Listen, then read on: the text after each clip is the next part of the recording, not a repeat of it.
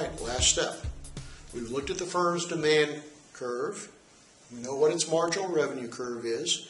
And now we want to figure out how it maximizes its profits. And to do that, we need to know not just the revenue side, the demand side, we need to know the cost side of what's going on with the company. What are their costs? In particular, to maximize profit, what is a profit maximization rule? Operate at that quantity, produce and sell that quantity where marginal revenue equals marginal cost. Well, let's make, let's make this one a little easy, right? Let's say that the marginal cost for this company, the cost of producing each additional unit, is constant. It is a constant $8 per unit. So that this company's marginal cost curve is a straight line at $8. So They have a horizontal marginal cost curve, which, do you remember this? If it's horizontal, it's also their average total cost curve. See if you remember why, okay? And what we're looking for then is this point where the two intersect, where marginal cost equals marginal revenue. If you've looked at some of my uh, YouTube videos or the textbooks or the, at least the explanations I've been using, we call that point alpha. Alpha tells us how many units to produce. How do we figure this out? How do we figure out how many units to produce? And the answer is go back to the marginal revenue equation. Remember that when we did the inverse demand? Marginal revenue was equal to what? 50 minus 0.40 Q. And we know the marginal cost is what? $8. We set those two equal, and so we have 50 minus 0.40 Q equals 8. Subtracting over, we get minus 0.40 Q equals minus 42. Solving, we get Q equals, negatives cancel, 42 over 40. What's that going to be? This is a point 40. You solve that, it's 105.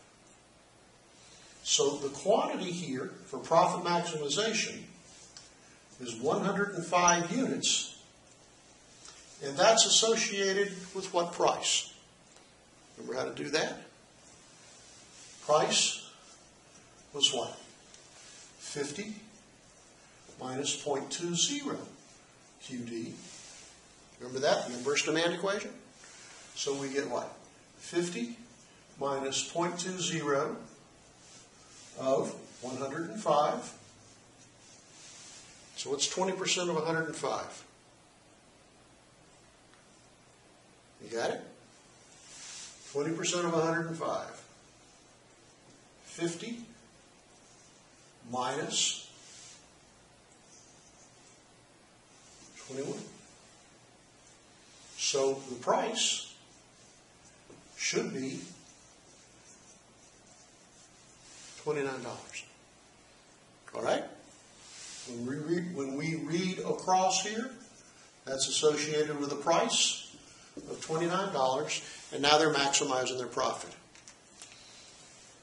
Now, just as a quick aside, you might want to remember too that the difference between average cost and price is their profit per unit times this many units. If it helps to see it gra uh, graphically, this is their profit.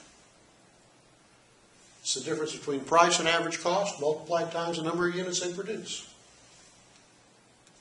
What would that be? That would be 29 minus 8 is $21 times 105 units.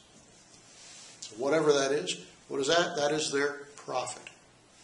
Okay? That's where we're going with this. Now, in, in, in a more realistic sense, we know this isn't specific, this isn't precise. But with the assumptions we've made, we at least have a point of beginning in our discussion that says, looks like our profit maximizing price is somewhere around $29 a unit.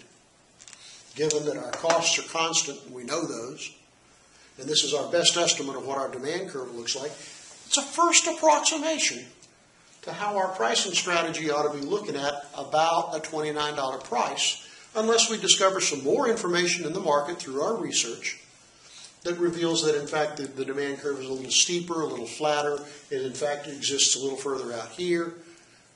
So we're constantly looking for our data for the demand curve. But once we get that data or data we think we can depend on, then we can start backing into what kind of pricing strategy should we be pursuing to try to maximize the profit in this organization. And remember, it all starts from two things, right? We need to know our demand, so we go out in the market and we research it the best we can. And we need to know our costs. So we rely on our accountants or uh, internal uh, controls to tell us what is, in fact, our cost, our marginal cost of producing each additional unit.